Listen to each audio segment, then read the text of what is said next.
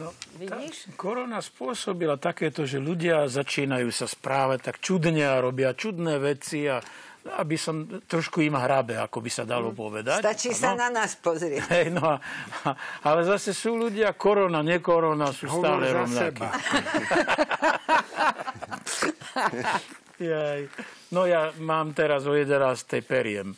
Aha, aha, aha, tak už aby sme sa No, trošku... mám čierne, tak černo-bielu budem. Ale svoje perieš, alebo aj... Počúvajte, Ja sa tým ale- živím, ja periem. Že by sme ti prihodili, že, že už to... Ja periem akože peniaze totiž. Pomaly...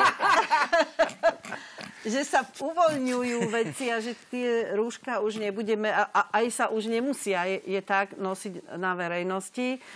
Myslím tak, že v prírode alebo v lese, ale ja vám, nie je to celkom pravda. Ja, ja som to tak urobila, bola som na vychádzke e, s s Verdým s obsom pri Morave, no dala som si ju tak len pod krk, že keď niekto príde, alebo čo, tak by som si ju tak nahodila nazad.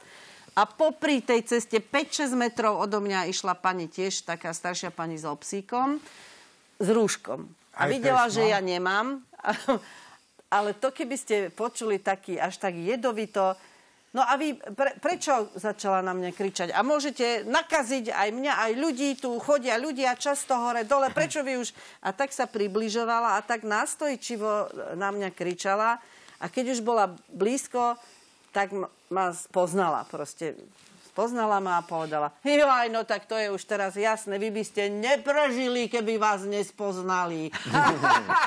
Ona bola ochotná uveriť, že nenosím to preto, aby ľudia... Á, pani Áno, Václalová, však aj, v, pani aj v lese vás aj v lese, aj musia. všade, že by som to neprežila, keby. Takže tieto rúška spôsobujú... Ja som videl po lúke bežal zajac a mal rúško, tak neviem, ako to.